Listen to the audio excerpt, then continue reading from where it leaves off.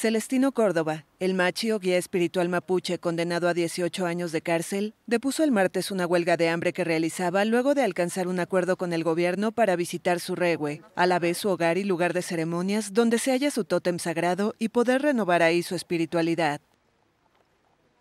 Hoy, 18 de agosto, a las 6 y media, pesando 65 kilos y a petición de mi familia, mis más cercanos y algunos dirigentes hemos llegado hasta acuerdo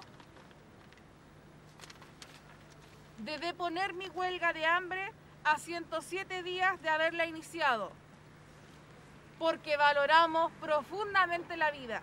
Se le ha eh, autorizado una salida al regue de hasta 13, 30 horas, de manera de poder ir a renovar su energía en conformidad a su espiritualidad por las recomendaciones que personas entendidas en esta materia requieren.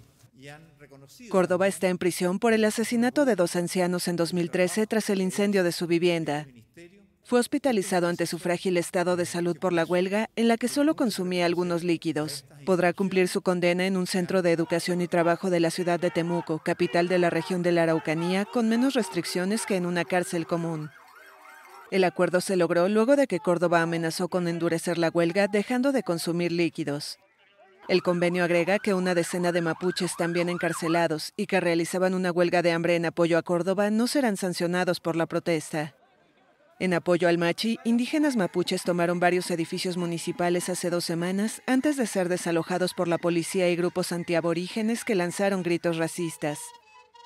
Las comunidades mapuches reclaman la restitución de tierras que consideran suyas por derechos ancestrales.